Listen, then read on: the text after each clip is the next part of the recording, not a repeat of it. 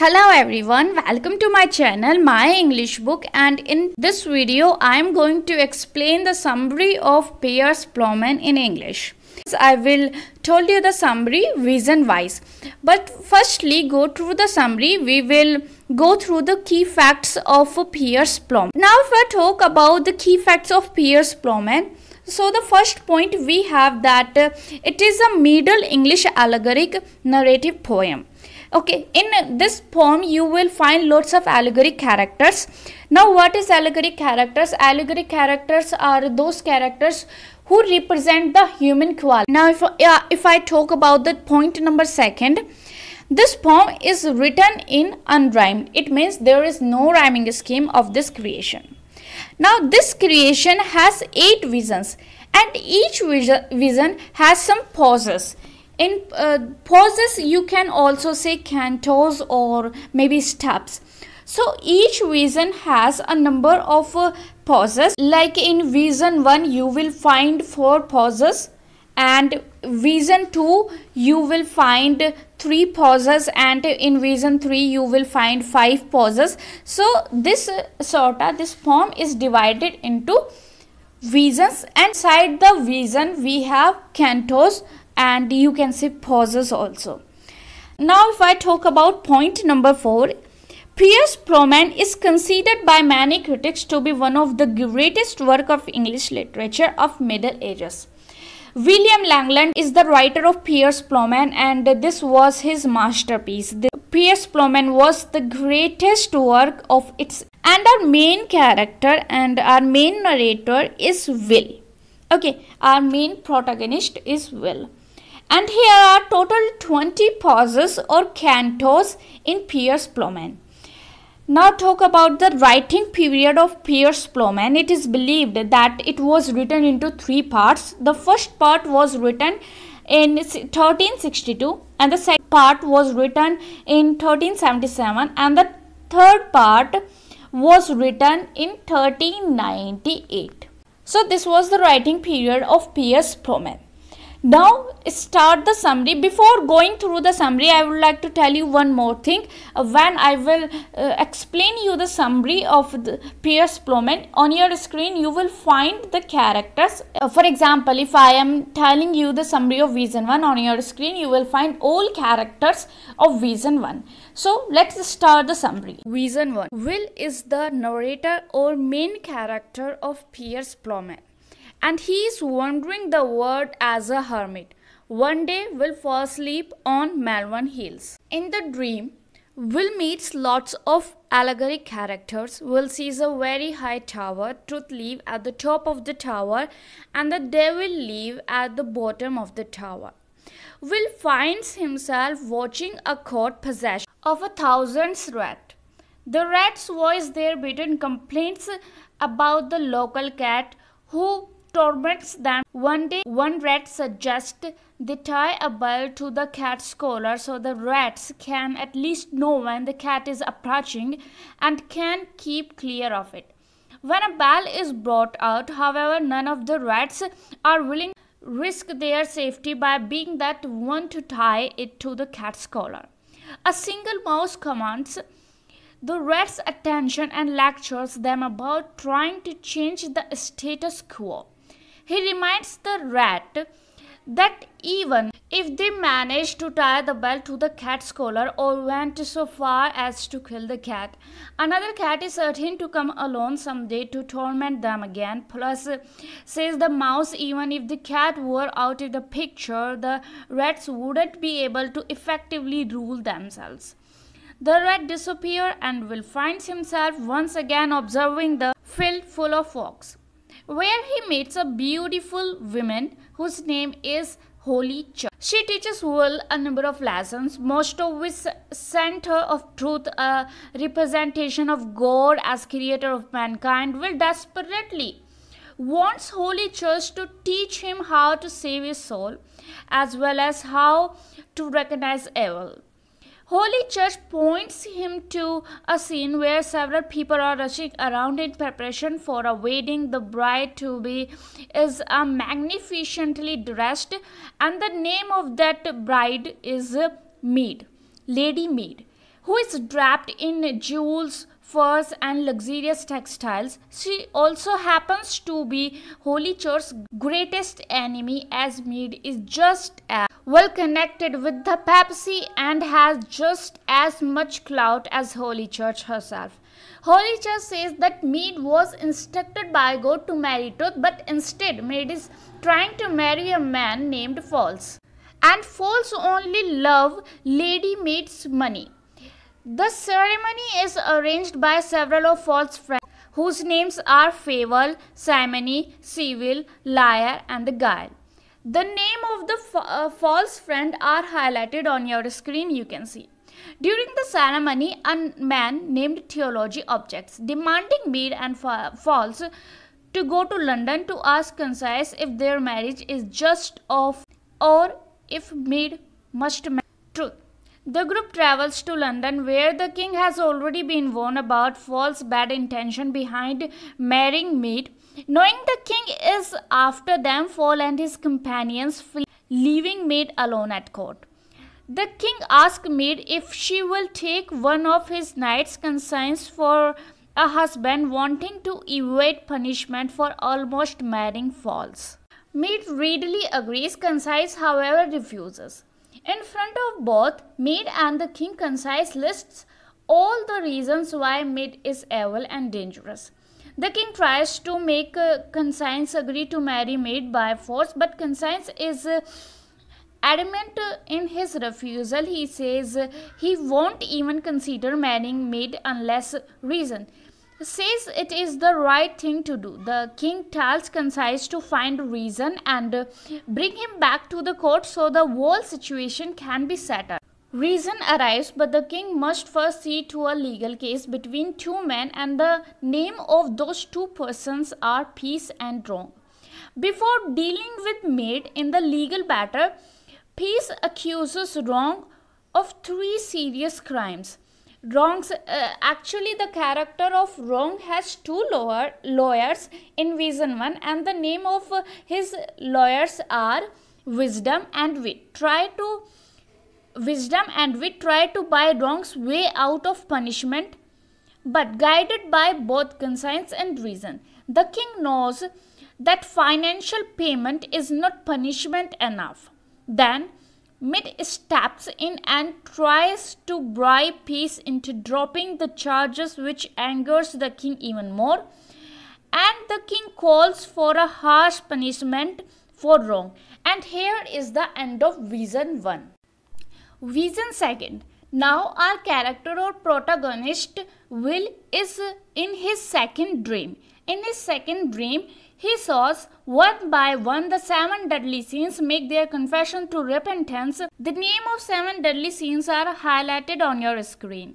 You can see repentance prays for the group's sins suffering a crowd of a thousand people to change their way. The crowd searches for truth.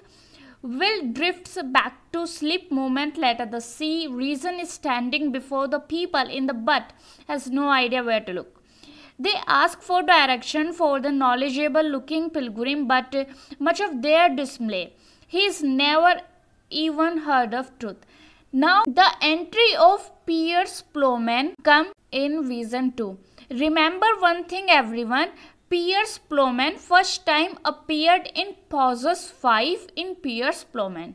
So here is the entry of Piers Plowman. A person named Piers Plowman appears claiming to be a dedicated follower of truth. As well as a plowman on truth's land, Piers offers the group direction, directions to truth. But his directions turn out to be complicated and detailed, making the people anxious about making the journey without a guide. Piers offers to accompany them on the journey with the caveat that has half acre of land needs to be plowed before the leave. To make the work quick, Piers assigns task to the people based on their social class. Although the system runs smoothly as first, eventually some people try to fake illness to get out of the working, leading Piers no choice but to call upon hunger. So now a new character come in the story whose name is Hunger who inflicts the fakers with starvation until they begin to work out of necessity as Piers suspects. Once hunger departs, many of people go back to lazing. Truth sends down, then Truth sends down a pardon to Piers, which states that those who help Piers work will be able to pass through purgatory quickly. There is no mention of those who can work but refuse to, but those who genuinely cannot work are fully excused. Then a priest asks uh, Piers for the opportunity to translate the pardon out loud from Latin to English as is part of his duties. And Piers compiles upon reading the pardon for himself. The priest is surprised to only see two lines and declare that it is not a pardon whatsoever. Angry, Piers rips the pardon in two and begins to argue with the priest, which Charles begins to argue with the priest. So here is the end of vision second. Third. Before going into the third, there is a situation about will. Firstly, we will discuss the situation. Will wonders the word and thinking about how penance and pardons are helpful for salvation. But that uh, it is better uh, for a Christian to avoid sin and do well one day he come across two friars and try to ask them where he can find Duval, but the friars are arrogant and claim that Duval residence permanently with them and their convent. Will politely excuses himself knowing he will run more uh, by continuing his quest than by listening to the friars. Now the vision third began. Now Will sleeps and he saw his third vision. In third vision, and in Will's dream, a man whose name is Thought teaches Will about the nature of do well, along with two other Christian values whose names are do better and do best. He says do well engages in honest labor, do better helps other, and do best rebuts sinners. So this was the introduction about do well, do better, and do best. Will is still confused about the concept of do well, do better, and do best. So thought suggest he speak with a man whose name is Wit. Now, Wit explains the value as being people who reside in the heart of a Christian. Do well and do better attend to the soul, while do best offers guidance. And this entire group is protected by a knight whose name is Sir Inwit. And his five sons. The name of his five sons are five senses. Now we'll introduce Will to his wife Study, who is openly suspicious of Will uh, as she thinks Will wants to learn for all the wrong reasons. Study gives her an explanation of duel, which proves to be so hard to follow that even her own husband feels confused. Study sends Will to her cousin, whose name is Clergy, and his wife, whose name is Scripture who can explain possibly duel in a way that uh, Will can understand. Now, Will listens to clergy and uh, scripture's explanation about do well, do better, and do best.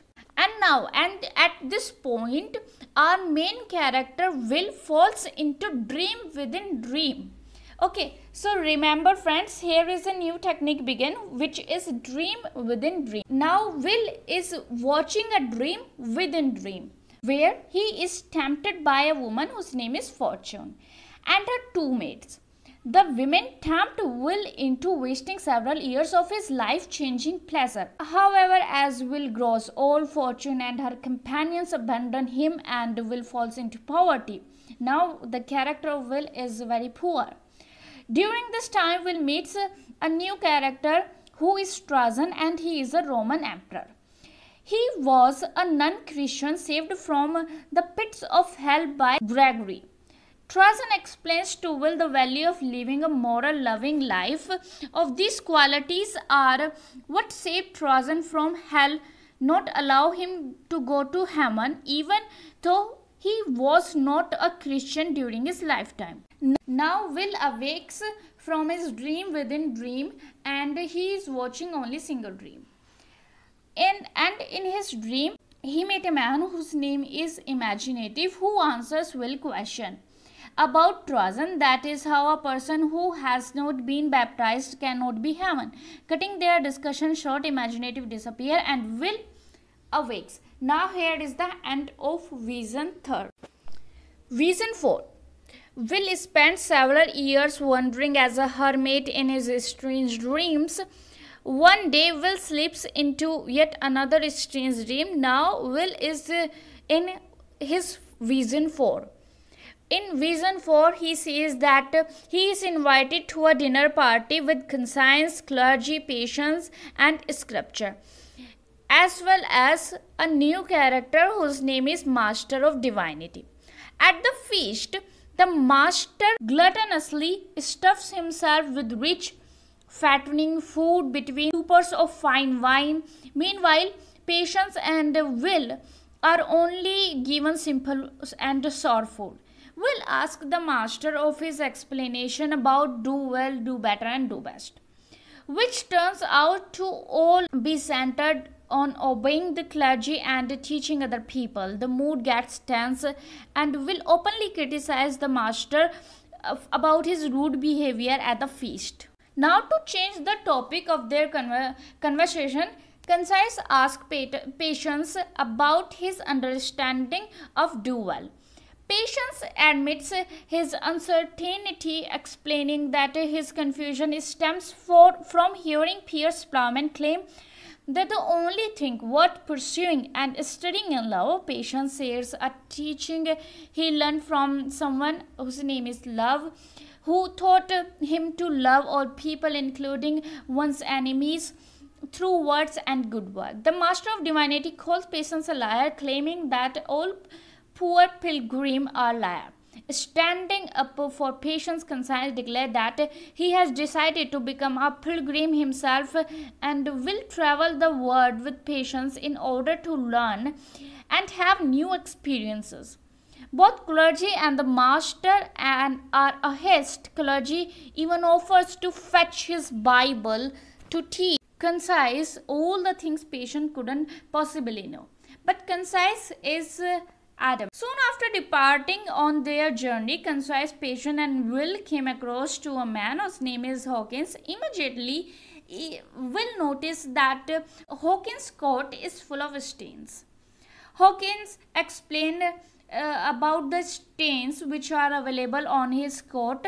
Actually, this coat belongs to now Hawkins uh, replies that that uh, this coat is belongs to Christ and the stains are his own frequent sins although he's tried to wash the coat many times but it doesn't stay clean for more than a new moments before it splattered with stains again patience patiently instruct uh, Hawkins to use the combination uh, of contrition do well, do better, and do best to launder the coat effectively. Now, according to the patient's contrition will scrap the scum of, of the coat, do well, will wash it, do better, will scrub it, and do best, will ensure the coat always stays clean.